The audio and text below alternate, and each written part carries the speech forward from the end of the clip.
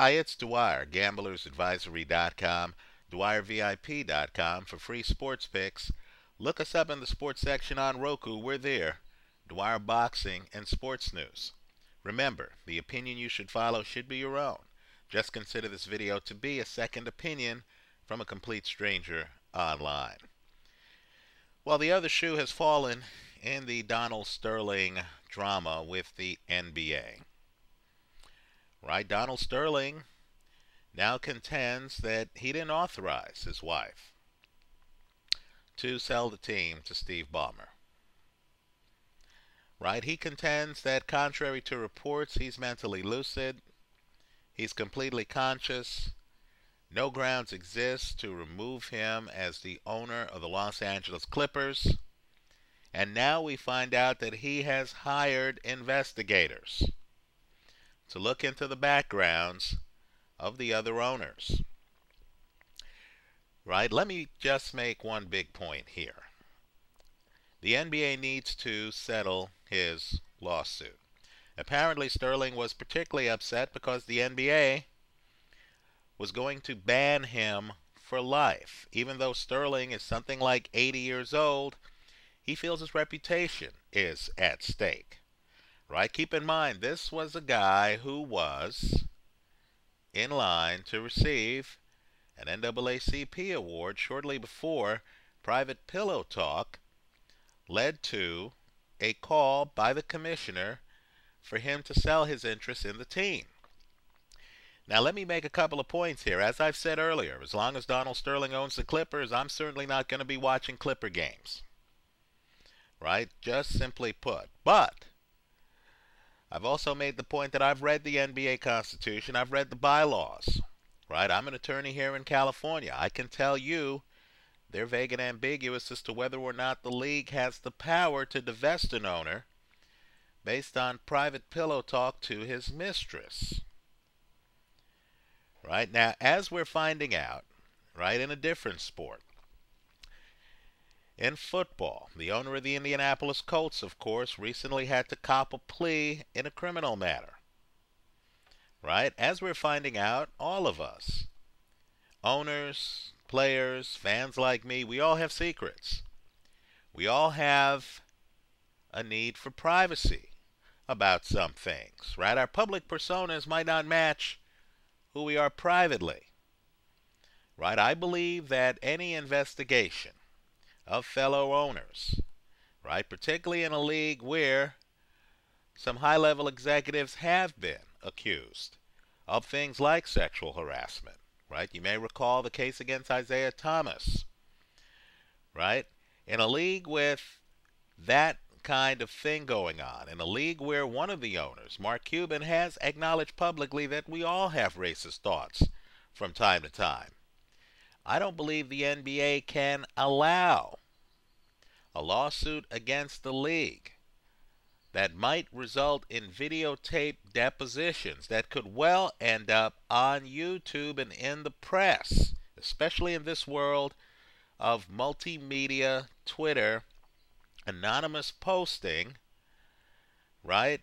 iPhones, smartphones, Android phones, iPads, it would be an absolute disaster for the league. Keep in mind, too, that you've had some high profile players, LeBron James, say, I'm not going to play in any game involving the Clippers as long as Donald Sterling is the owner of the team. Right? You've had the Clipper coach Doc Rivers refused to answer questions about Donald Sterling. In fact, he's refused to even meet with Donald Sterling during the scandal.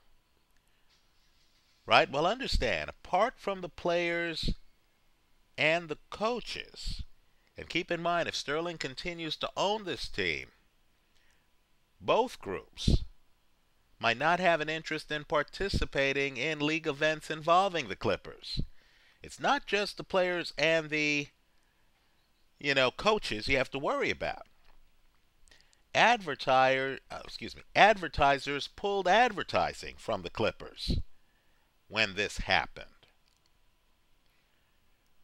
Right? If videos leak of other owners, right? Admitting under oath to less than PC comments or less than PC activities, right? Or even just simple marital infidelity, which might be too explosive for many advertisers, right? You think eHarmony is going to advertise with a team where the owner admits to sleeping around?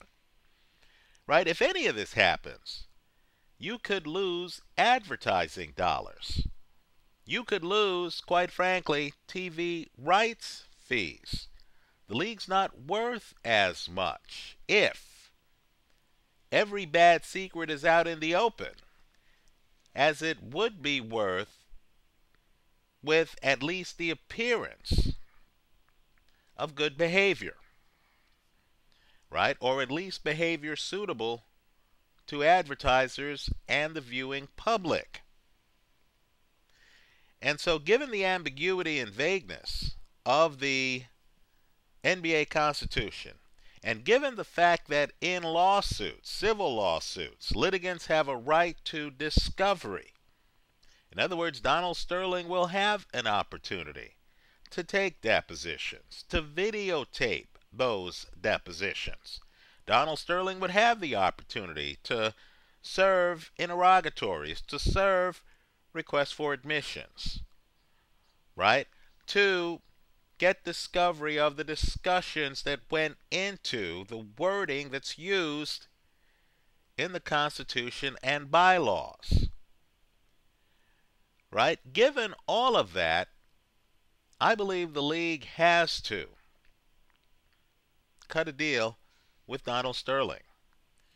Right? Whether or not the league feels it would be vindicated and would win at trial, the league cannot allow this case to progress to trial because they would simply lose too much along the way in public relations. Right? So, let me just say this Donald Sterling, in my opinion, he's not a good person. Let's just be blunt. But he has some cards to play. And he's playing them.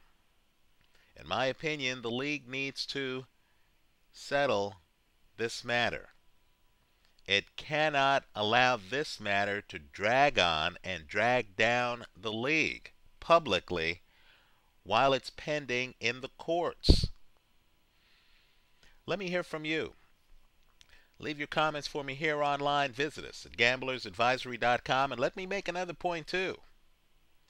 The league can't even vote, in my opinion, on ousting Donald Sterling because it needs to maintain the fiction, or at least the appearance, of not having formally ousted him.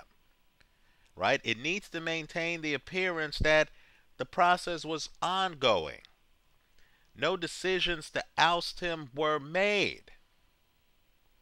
Right? So, any damages he has arising from his ouster, right, should be minimized because the league didn't actually oust him.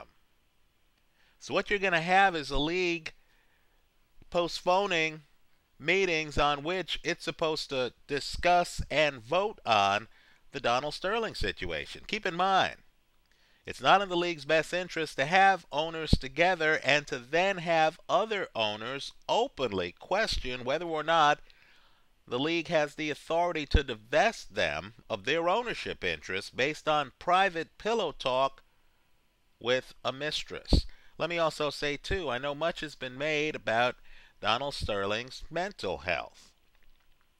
Right? Well, understand the league can't afford to then have Shelly Sterling, let's say, prevail in court with regard to the situation against Donald Sterling in terms of whether or not he's healthy enough to continue to administer the family trust. Let's say Shelly Sterling prevails on that. Let's say Steve Ballmer then becomes the owner of the Clippers, but Donald Sterling continues with his lawsuit against the league, even though Shelly Sterling has a hold harmless on it, even if the league feels it's going to be financially indemnified by Shelly Sterling. It can't allow discovery to go forward.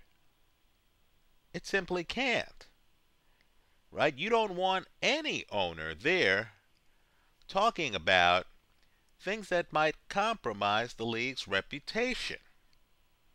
You just can't. So I think the league ultimately is going to have to settle with Donald Sterling. I'm guessing Donald Sterling is going to get some kind of statement released by the league that at no time did the league actually formally oust him as an owner of the Clippers and that he has decided to sell the team voluntarily.